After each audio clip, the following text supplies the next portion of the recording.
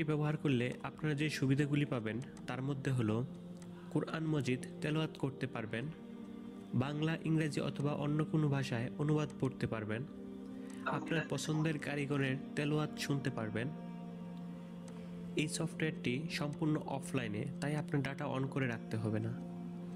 শব্দ অথবা আয়াত দিয়ে সার্চ করতে পারবেন, বাংলা অথবা আরবিতে।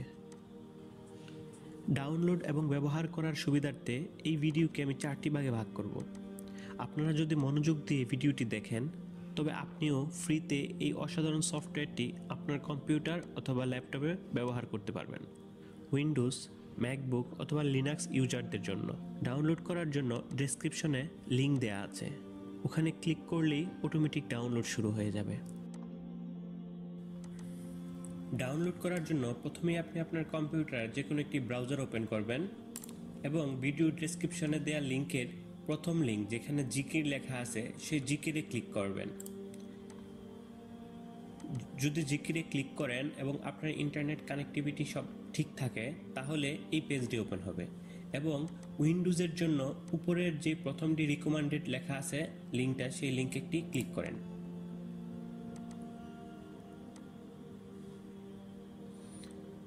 ক্লিক করার পর পাঁচ সেকেন্ড আপনাকে ওয়েট করতে হবে, তারপর অটোমেটিক ডাউনলোড শুরু হয়ে যাবে জিকির অ্যাপসটি। আট মেগাবাইটের এই সফটওয়্যারটি অথবা আপনার ডাউনলোড করতে বেশি দেরি হবে না। আর যদি আপনি লিনাক্স ইউজার হয়ে থাকেন, তাহলে এই লিঙ্ক থেকে ডাউনলোড করবেন। আর যদি ম্যাক ইউজার হয়ে থাকেন, তাহলে এই লিঙ্ক থেকে ডাউনলোড করবেন। ডাউনলোড শেষ হওয়ার পর আমার যেখানে ডাউনলোড হয়েছে, সেখানে যাব এবং এই সফটওয়্যারের উপর ডাবল ক্লিক করব। পারমিশন দিব। এখানে ইংলিশ রেখে ওকেতে ক্লিক করব নেক্সটে ক্লিক করব।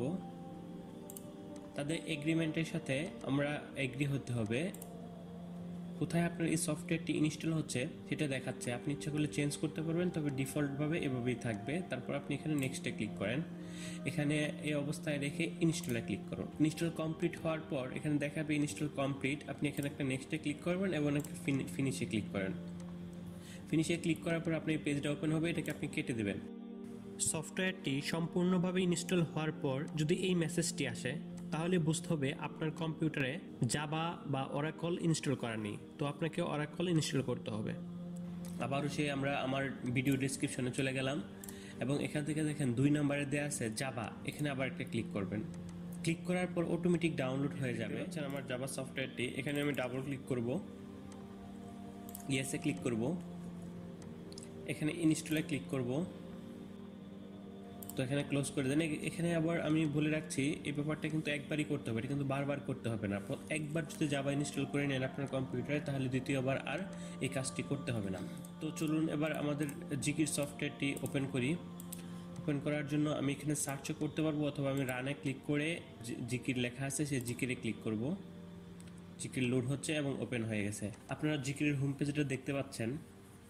প্রথমে এখানে আরবি দেয়া আছে, আরবির সাথে ইংরেজি ট্রান্সলেট দেয়া আছে।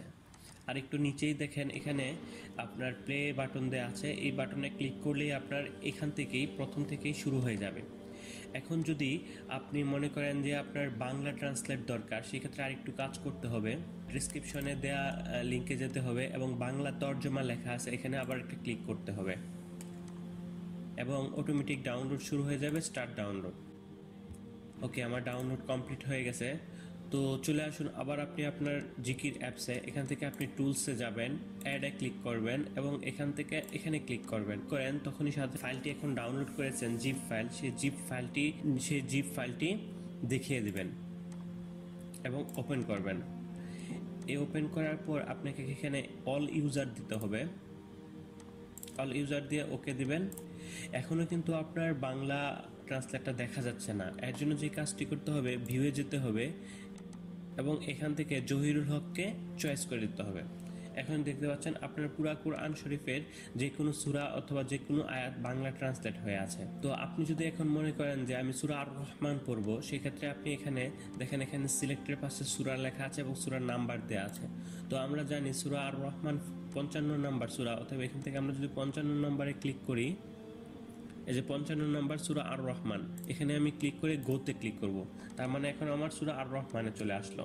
এখন আমি এখান থেকে আরবি পড়তে পারব এবং বঙ্গ অনুবাদ দেখতে পারব। এখন যদি মনে করেন আপনি সার্চ করবেন, আপনি একটি সুরার আয়াত জানেন বাট এই আয়াতটা কোথায় কোথায় আছে অথবা আপনি কোথাও দরকার, সেক্ষেত্রে আপনি কীভাবে সার্চ করবেন? আপনি সেই সেই লেখাটাকে কপি করবেন, সেই আয়াতটা কপি করবেন। কপি করার পরে এখানে দেখেন একটা সার্চ বক্স আছে, এই বক্সে এসে পেস্ট করে দেবেন। পেস্ট করে দেওয়ার পর এখানে সার্চ করবেন। এখানে সার্চ করার পর এখানে খেয়াল রাখবেন কোরআন কথাটা মানে আপনি যখন আরবিতে সার্চ করবেন তখন এই কোরআনে ক্লিক করে রাখতে হবে। কোরআনে ক্লিক করে তারপর সার্চ করবেন তখনই দেখবেন এখানে চলে আসবে। মনে হয় আপনি ব্যাপারটা বুঝতে পারছেন যদি আরবি থাকে তাহলে কোরআনে রাখা রাখতে হবে আর যদি বাংলা দিয়ে সার্চ করেন সেই ক্ষেত্রে ট্রান্সলেশনে রাখতে হবে। আবার আমরা সেই আহ, আর রহমানে চলে আসলাম অথবা অন্য যে কোনো একটি সূরা অন্য একটি সূরার চলে যাই। তো এখানে নক্ষত্র সব, আমরা এই কথাটা নিয়ে সার্চ করব। ওকে এখানে এসে আবার সেই সার্চ বক্সে পেস্ট করে দেব এবং এখন এখানে রাখব, রেখে সার্চ করব। এখন দেখতে পাচ্ছেন সার্চের রেজাল্ট চলে আসছে এখানে, এক জায়গায় আর যখন নক্ষত্র সব বিক্ষিপ্ত হবে। আমরা এই এই আয়াত থেকেই, আমরা এই আয়াত থেকেই নক্ষত্র সব কথা নিয়েছিলাম। আমরা যদি শুধু নক্ষত্র দিয়ে সার্চ করি তাহলে কি হবে দেখি? দেখেন, শুধু নক্ষত্র